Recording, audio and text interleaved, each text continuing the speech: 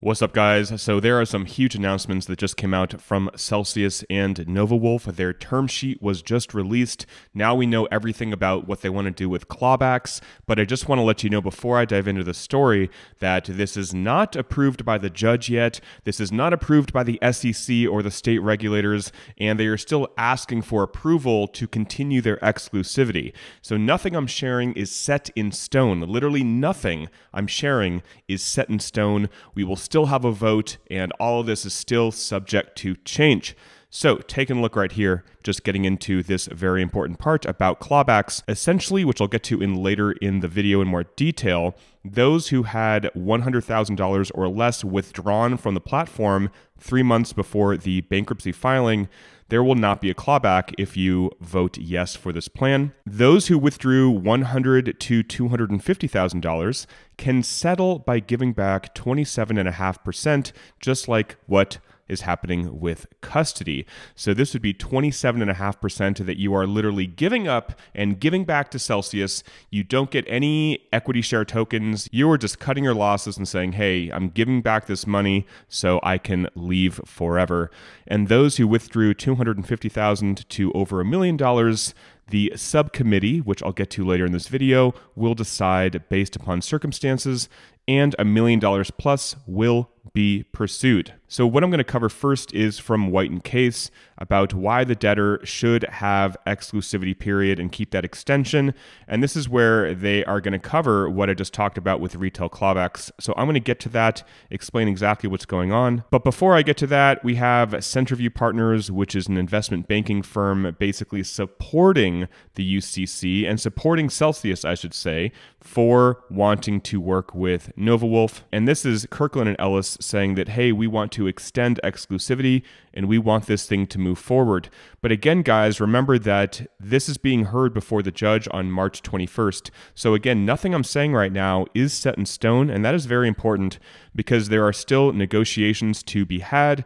There are still things that we can work out depending on the feedback that we give Kirkland and Ellis and the UCC. Also being heard on March 21st is basically agreeing to this whole thing with custody that they are going to get this 27.5% haircut. So the court still needs to approve this. This has not even been approved for custody yet, but my guess is it will. And for people who have custody, they will get paid in two payments of 36 and a quarter percent, and that 27.5% that they will not get will become the debtor's property upon the effective date of the plan. But it's important to remember that we have objections to this exclusivity period. So we have Deb over at Troutman and Pepper, also representing the retail clawback group as well on Telegram. She is saying that, hey, we, the ad hoc of withhold, do not want Celsius to have more exclusivity. And she says basically that they haven't done enough and the bleeding must stop of all of this money. And they want the debtor's customers to propose their own plan for the assets that they were defrauded into investing with Celsius. And then we have David Adler for the borrowers, those who have loans, saying this. They said, Can the plan sponsor, meaning NovaWulf, offer the election to all borrowers regardless of where they reside? In other words, will the plan sponsor have the necessary licenses to allow borrowers in all jurisdictions to make the election identified in the term sheet? Basically, they want to make sure that they have the licenses for every single borrower all around the world. And David Adler says if the answer is no, it would make little sense to continue exclusivity for a proposal that will provide different treatment to borrowers in the same class depending on where they reside. He also says that this five year loan term agreement is really long. In crypto world, this is an eternity, and there needs to be safeguards that this collateral will be returned, including a potential insolvency if NovaWulf goes through Chapter 11, and basically, if NovaWulf cannot provide adequate measures to safeguard the collateral, the ad hoc group would respectfully request that the exclusivity be terminated so that other alternative options may be explored sooner rather than later.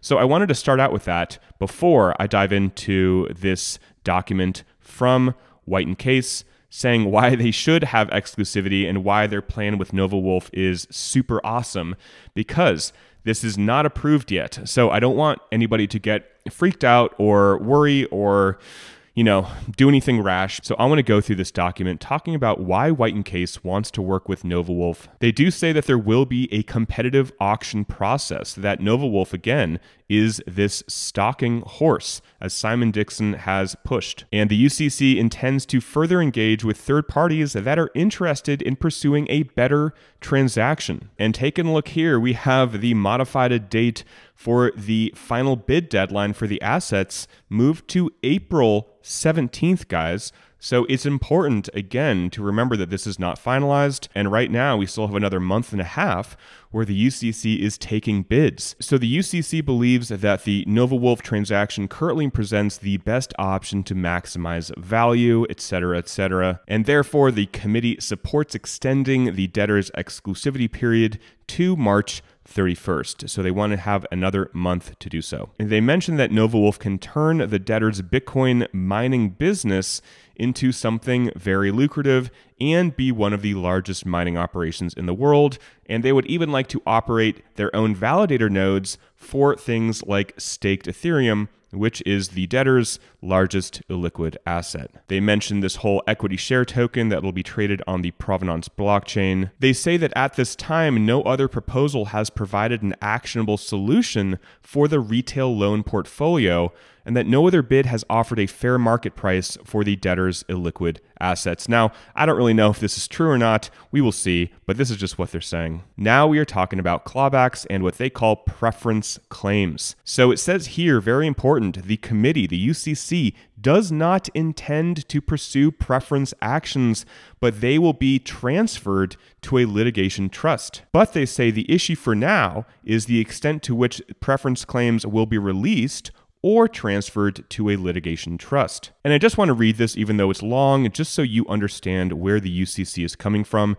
They say, as a fiduciary to account holders and unsecured creditors, the committee must carefully consider and can't ignore how to address the more than $3 billion of potential preference claims. At the same time, the committee does not support pursuing preferences indiscriminately and has no interest in imposing undue burden on individuals who have already been devastated by the actions of Mr. Mashinsky and other pre petition insiders of the debtors. So they're saying that they don't want to hurt people that have already been hurt. So that is their position. And the UCC believes that it is appropriate to release preference actions against current account holders with claims worth more than $10 that withdrew less than 100,000. And again, this goes to what I covered earlier. They will not claw you back if you withdrew less than $100,000. Personally, just in full transparency, I withdrew, I think around 115, maybe 120, I'm not quite sure, around there. So I am definitely over $100,000 when it comes to my potential clawbacks. So I just want to let you know in full transparency, there have been some comments being like, hey, dude, why don't you share exactly what your interests are in sharing this? So that's it. If you didn't know that, yes, within 90 days before the uh, bankruptcy petition, I withdrew again like 100 to 120,000 dollars worth of crypto. Also, the NovaWulf transaction would include an offer to settle preference actions against account holders who withdrew between 100 to 250,000 dollars, that would be myself, on the same terms that will be offered to holders of custody i.e., to return 27.5% of the transferred amount. So, again, none of this is confirmed. We may get another plan sponsor, not even NovaWulf, right? We may get somebody else that says, hey, we don't want any preference actions against non insiders, no matter the amount, right? And that's where I stand. If there is an insider that took off $50,000 and they knew the platform wasn't solvent, they should be clawed back. But if there is a retail person who is very wealthy, somebody who maybe had 10, 20 million dollars and maybe they took off 20 million dollars 60 days before the petition and they did so because they wanted to buy a house or they did so to pay their taxes or again just something completely unrelated to being an insider, then I personally do not think that they should be clawed back. I think it should be that simple. You're an insider, meaning you had non public information, or you didn't. So, next, they talk about loans and how they're going to deal with that. They also talk about CEL Token. So, they say that the debtor's pre petition management, meaning Alex Mashinsky, pumped the price of CEL Token as late as May 12, 2022. On the morning of June 13th, the day that Celsius paused withdrawals, CEL Token had a market price of 20 cents.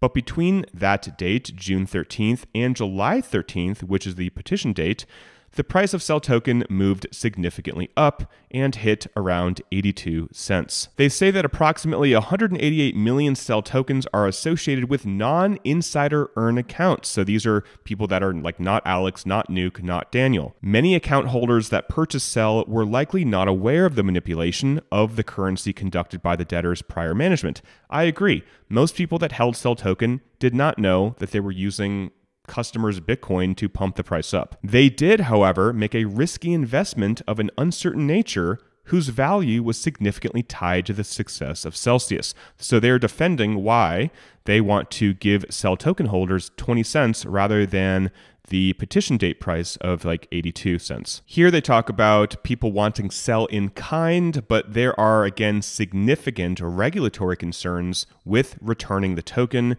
which is what we saw with VGX and with Voyager. And this is why they want to give 20 cents per CEL token for all of these reasons. Because this is again the price that CEL token traded at on the morning of the pause, before the whole CEL short squeeze started. So, here talking more about clawbacks, they say the committee cannot and will not sue any non insider account holder to recover a preference payment. Again, the committee can't, but it doesn't mean that there won't be. They say that rather the committee has been asked whether it supports an unconditional and gratuitous release of all potential preference claims at this time. So, the committee is saying that no, we do not support an unconditional release of all preference claims.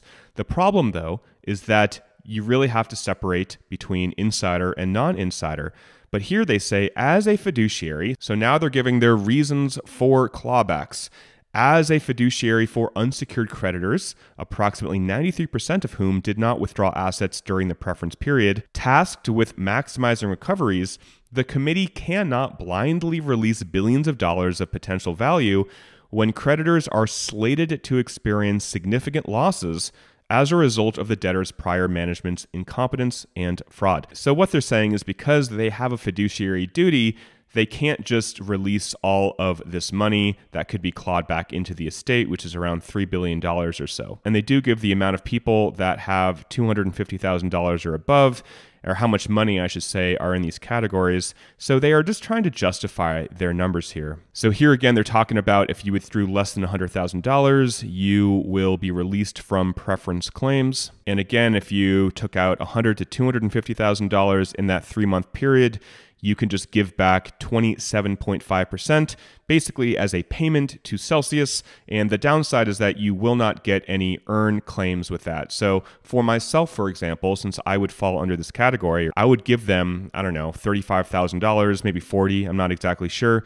And I would not get any equity share tokens for that. So it would just be like, hey, here's Celsius, here's $40,000. So that's what they're saying. Here it says the NovaWulf transaction would transfer unreleased preference claims. So these would be the claims above $100,000 and other avoidance actions to this litigation vehicle or litigation trust that would be operated by an administrator with a fiduciary duty to all earn holders who receive interest in that entity. And working with NovaWulf will also provide for alternative dispute resolution procedures so that this litigation vehicle and participating creditors can efficiently resolve claims without the incurrence of significant legal expenses.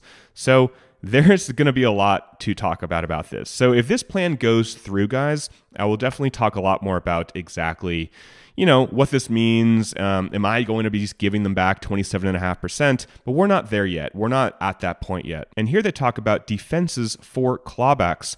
They say even if preference claims were brought by the litigation trustee, such claims are subject to defenses. The bankruptcy code provides that transfers made in the ordinary course are not subject to avoidance. But here's the kicker, or here's what they say nothing about these cases or the debtor's operations prior to the petition date is ordinary, and the facts may vary for the hundreds of thousands of different cases. So, we will see what happens from this. This is very interesting. I don't know what to make of this right now because, again, this has not been approved, but I will let you guys know. And essentially, they're saying there are hundreds of thousands of potential preference actions to sort out, and now is not the time to do so. So, again, what the UCC is wanting to do right now is not pursue these preference actions or clawbacks, but rather, they say, the issue is will these preference claims be released, meaning they will go away, or transferred to a litigation trust. They're not pursuing people right now. They are just proposing this to the judge and saying, these are the numbers. So 0 to 100,000, 100,000 to 250, 250 to a million, and then a million plus. They're categorizing people in different ways, uh, essentially just to make sure that they don't lose this ability to do so. So take a look at this motion right here from Kirkland and Ellis. This is going to be talked about on March 21st, and this is them wanting to go ahead and go through with this NovaWulf transaction. So they want to keep this March 31st date so that they can file their full disclosure statement with NovaWulf. Here they talk a little bit about a toggle feature, which I talked about in my last video it says that holders of the earn claims who vote for the plan will have the option to indicate their preference to modify their distribution to either receive a greater amount of liquid crypto or receive additional EST or MSTs. Basically, they can get more crypto or more liquidity. So NovaWulf is the stalking horse, and in doing so,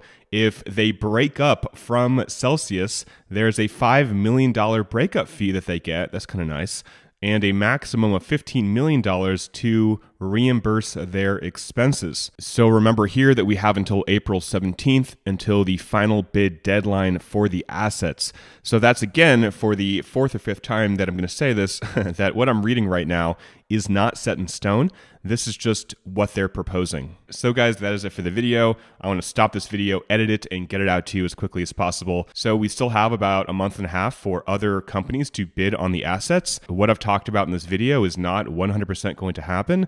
This is the term sheet, and this is just what the UCC wants to do, and obviously work with Nova NovaWulf, etc. If retail clawbacks apply to you, there's a link below to the Telegram group. Even if you withdrew less than $100,000, it would still be a good idea to join that group because, again, that number could go down. We actually don't know exactly what's going to happen.